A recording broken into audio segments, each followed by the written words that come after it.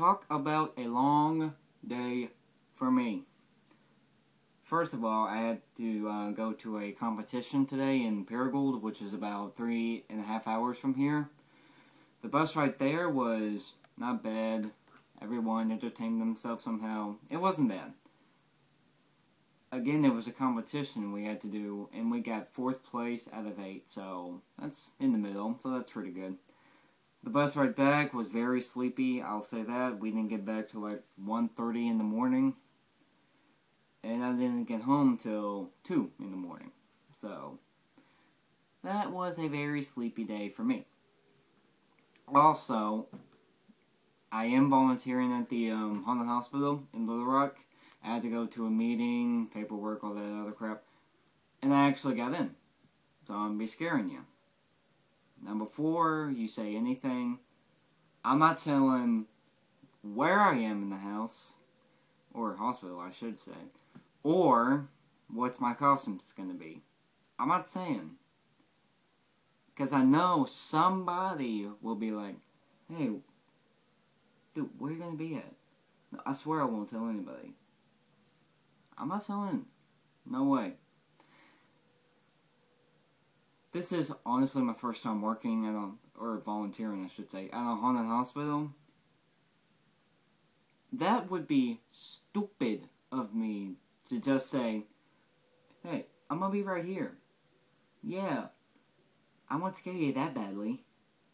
Because I know you hate being scared. Because I know you always pee your pants when you do. I want to scare you so that you do pee your pants. That is fun for me. Now, um, if you need directions, how much money it is per person and all that other stuff, um, contact me somehow, either with my um, YouTube, just leave a comment, I guess, or mention me on my uh, Twitter. Don't send me a message, though, honestly, because my messages have been messing up lately and I can't really get to them. So you have to mention me. Again, don't message me because my messages have been messing up re recently. So if you just send me a message, I guarantee you I will not see it. So just mention me. But, I'm tired. I'm gonna go to bed. And finally, I get to relax for a day. I have not been able to relax this whole week at all. And tomorrow I finally do. Finally. Oh, and by the way, at the um haunted haunted hospital, do not expect for me to be there on Friday night because I have to do uh, football games, and sometimes Saturdays because band and all that crap.